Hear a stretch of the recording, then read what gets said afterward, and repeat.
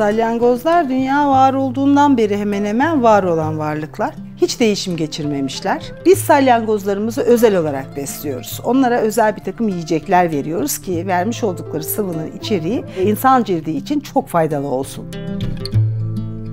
Bizim konumuz canlı, bizim konumuz know-how, bizim konumuz kuluçkane, yumurta üretimi ve kozmetik. Ticaret yapmak birilerinin yanında çalışarak öğrenilen bir şeydir bana göre. Okuldan çıkar çıkmaz hemen ticaret yapamazsınız. Tecrübe her şeydir.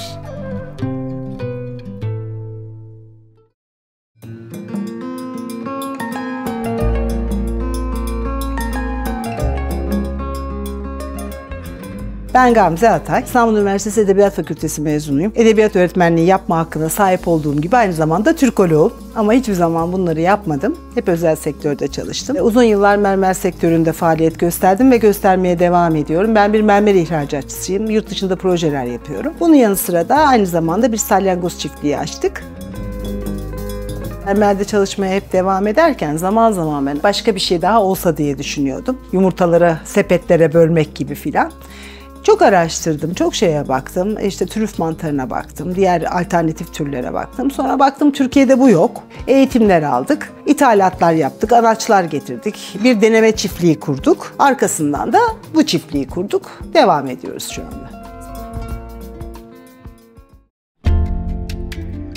Salyangozdan kozmetik üretiyoruz. Güzellik ürünleri üretiyoruz. Güzellik derken de bunu sadece estetik, güzellik, işte kırışık çizgi diye anlamayın. Bu aynı zamanda cildi yenileyen, yara izlerini yok eden, taze yaralarda iz bırakmadan iyileşme sağlayan bir krem. Sağlık Bakanlığı'na bağlı olarak bunu üretiyoruz. Bu çiftlik know-how yapıyor. Bu çiftlik eğitim veriyor. Bu çiftlik yumurta üretiyor. Anaçlardan yumurtalar yapıyoruz. Üretim yapmak isteyenler yumurtaları bizden alıyorlar. Eğitim almak isteyenler eğitim üretime buraya geliyorlar. Her salyangozu üretmiyoruz bu arada onu söyleyeyim. Burada üretilen cins var olan salyangoz familyasının tamamı değil. Helix aspersa müller dediğimiz bir tür. Kozmetiğe çok uygun olan, et üretimine çok uygun olan, çok yavru doğuran, çabuk etlenen, çabuk büyüyen bir hayvanı üretiyoruz biz burada. Zannediyorum Türkiye'de bu işi yapabilen, belgeli olan iki kişiyiz. Pişiren, ihraç eden arkadaşlarımız var senelerden beri. Türkiye'nin pişmiş salyangoz, dondurulmuş salyangoz ihracatı senelerden beri var. Bizim konumuz canlı, bizim konumuz know-how, bizim konumuz kuluçkane, yumurta üretimi ve kozmetik.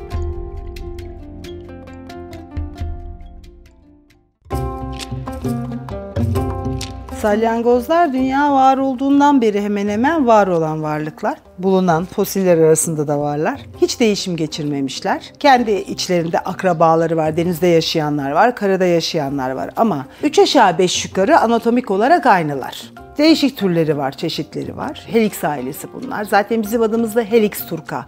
Yani Helix Latince adıdır salyangoz grubunun. Turca da Türk Helix'i yaptık biz onu ilk olduğumuz için. Kimisinin ömrü uzun olabiliyor. 7 yıl yaşayanı var doğada, 3 yıl yaşayanı var. Bizimki gibi 7-8 aylık ömrü olanlar var. Kışları uyurlar. Kendilerini gömerler toprağın altına veya uygun buldukları bir kovağa çekerler. Ağızlarını kapatırlar, örerler ki içerideki ısıyı tutarlar. Kendilerini kilo kaybederek uykuya çekerler. Bir kış uykusuna yatarlar. Bunu yazın da yaparlar. Çok sıcaklarda, çok kuru havalarda gene içeriye çekilirler ve kendilerini korurlar. Böylelikle yaşayabilirler. Yağmuru gördükleri zaman da hemen yerlerinden fırlarlar. Çünkü artık yemek yeme zamanı gelmiştir.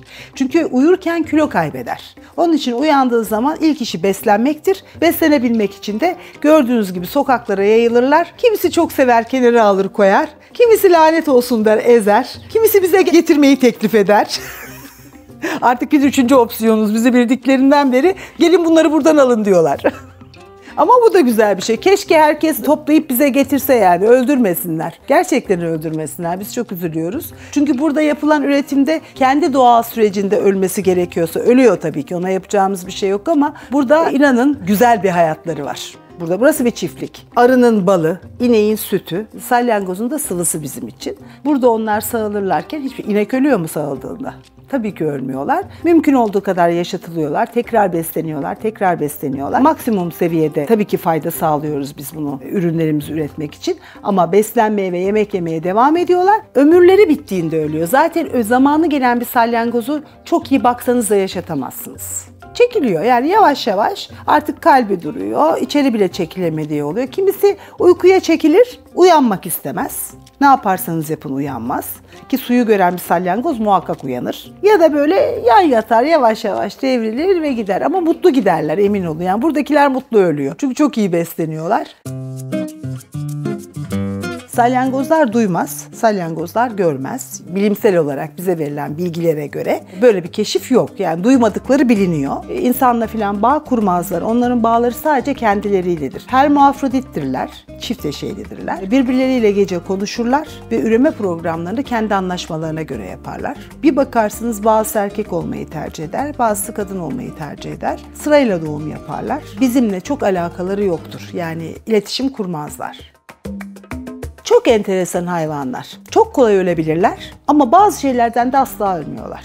E, ağızlarında radula denen bir diş var. İçeriye doğru çalışan bir diştir bu. İçeriye doğru çalışarak ne varsa tüketir. Her şeyi yer salyangoz. Her şeyi yer. Yalnız buna fare zehiri de dahildir. Onu da yer mesela ama ölmez. Şimdi salyangoz kreminin yapımı bizim bir kardeş firmamız tarafından, kozmetik yapabilen bir firma tarafından yapılıyor. Çünkü bunun çok profesyonel ellerden geçmesi gerekiyor. Bizler sadece ham maddesini veriyoruz ve kendi adımızın altında üretim yaptırıyoruz. Bu ham maddeyi sağlayan biziz, kreme dönüştüren onlar. Özellikle serum ve krem üretiyoruz. Salyangoz kremi üretirken tabii ki içerisine bitkisel allantoinler konabilir. Zaten piyasada satılan salyangoz kremi altında satılan pek çok şeyin içinde olan bitkisel allantoindir. Salyangozmuş gibi sunulur insanlara. Bunları içine koyarak da böyle bir krem üretebilirsiniz ama onun içerisindeki gerçek salyangoz özü değildir salyangoz sıvısını kremin içinde tutmak mümkün değildir. O yüzden belli oranlarda seruma, belli oranda da kreme koyarak her ikisini birden de birleştirmeyi sağlayarak daha fazla salyangoz özü kullandırabilmek için set olarak ürettik. Serumlar cildin altına çok çabuk nüfus eder, kremler de üstüne nüfus eder.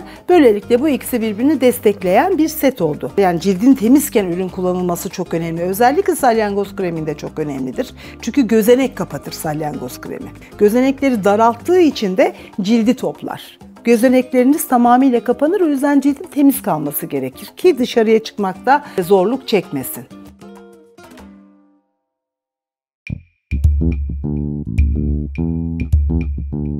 Biz salyangozlarımızı özel olarak besliyoruz. Onlara özel bir takım yiyecekler veriyoruz ki vermiş oldukları sıvının içeriği insan cildi için çok faydalı olsun diye. Onları özel olarak besliyoruz. Daha sonra sağım yapıyoruz. Bu sağılan sıvı hijyen açısından çok dikkatli bir şekilde korunarak soğuk zincir olarak bu firmaya gidiyor ve orada kreme dönüşüyor.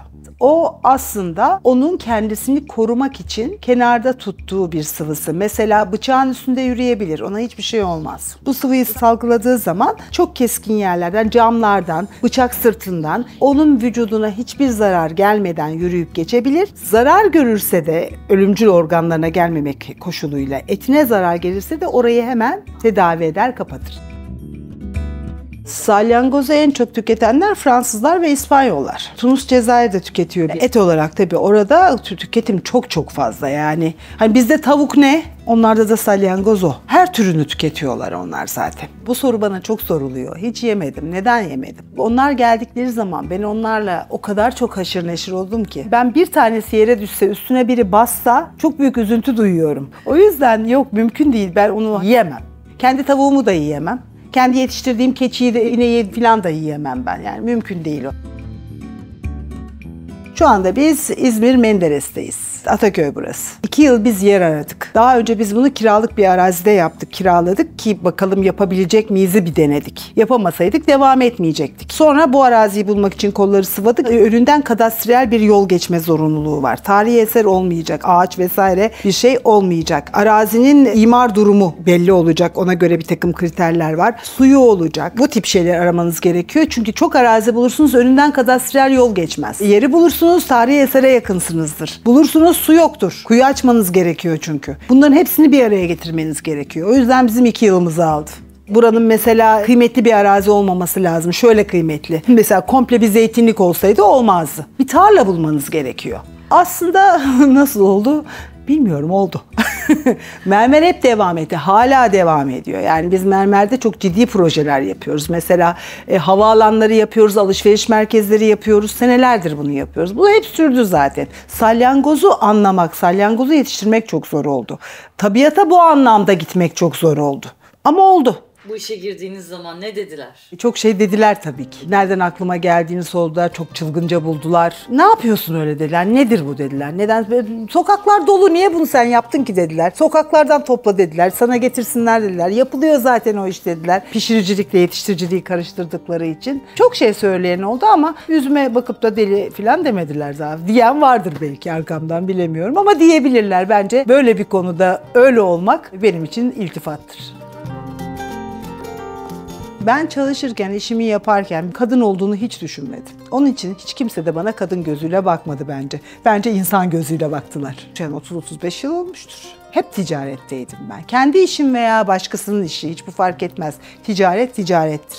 Zaten ticaret yapmak birilerinin yanında çalışarak öğrenilen bir şeydir bana göre. Okuldan çıkar çıkmaz hemen ticaret yapamazsınız. Tecrübe her şeydir erkek işi denen çok işte yaptım ve hala da yapmaya devam ediyorum. Genelde mesela mermerciliği erkek işi olarak görürler. Oysa mermerin en can alıcı kısımlarında kadınlar çalışır. Çünkü kadınların gözleri çok hassastır. Seleksiyonları kadınlar yaparlar. Kutulara, kolilere yerleştirirken onlar yaparlar. Çünkü onlar daha detaycıdırlar. Ben hiçbir işi yaparken kendimi kadın olarak görmedim. İşlerin kadın ve erkek işi olarak da ayrılmasını doğru bulmuyorum. Kadın girişimci olmak tabii ki güzel bir şey. Bu adlı da anılıyorum, biliyorum ama kadın girişimci ya da erkek girişimci dendiğinde cinsiyetçilik ortaya çıkıyor. Yani ayrım başlıyor. Ben bu tür telaffuzların hiç olmaması gerektiğini düşünüyorum.